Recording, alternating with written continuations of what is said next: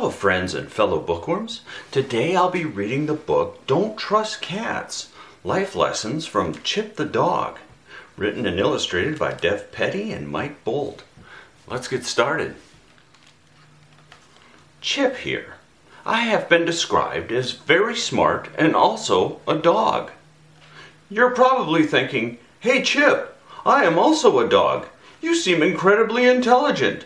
How can I be my best dog self? Great question. And because I am a good boy, I will answer. Three words.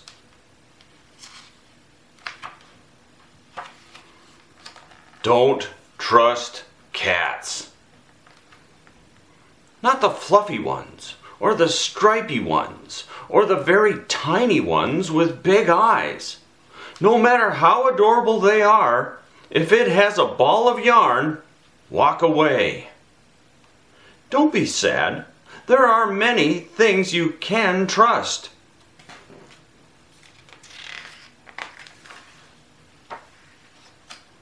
If you're looking for animal companionship, trust this friendly looking fella. I have a really good feeling about this. Those birds and squirrels you try so hard to catch, you can trust them. They're laughing with you, not at you. However, definitely avoid bees. Long story. And don't trust cats.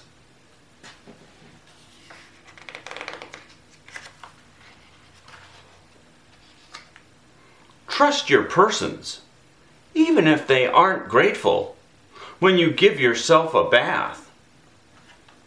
And they throw away the wonderful gifts you bring them again and again.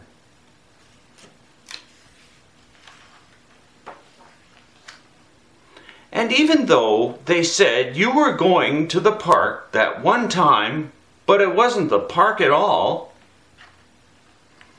and sure, he cheats at cards, but you can trust Grandpa.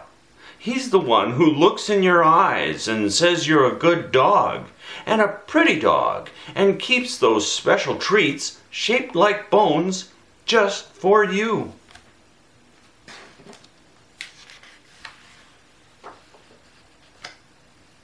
Helpful hint. The small persons will show their affection in confusing ways. Try to be polite. Persons are way better than cats.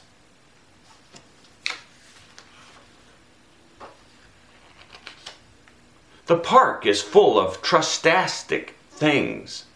You can trust that your persons will be happy when you do your business. They are so proud. They even collect it and put it in a protective wrapper. Trust this fire hydrant. It's always been there for you. Trust your intuition about others. This guy here loves sharing.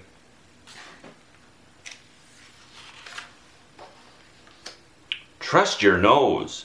It will lead you to magical things you can trust to your persons.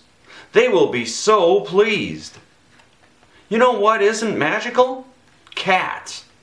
No how, no meow.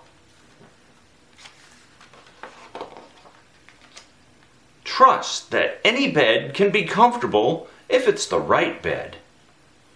You just have to be motivated.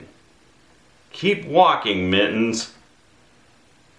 Trust that the mail slot will bring presents for you every day.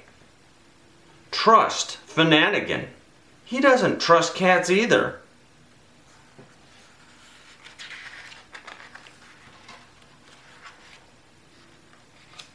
Don't trust the vacuum or cactuses or those two criminals at the door.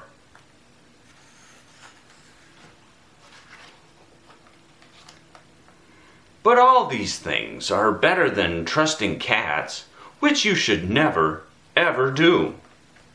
Unless they seem very, very sorry and they share their special treats with you. Well, then maybe you can trust them just a little.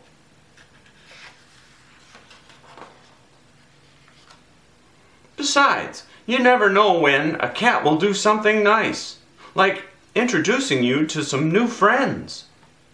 I am a smart dog.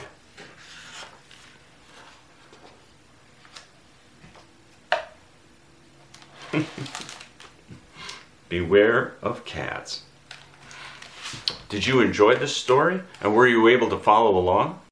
You can find this and many other books at your local library or check out the description below to learn more.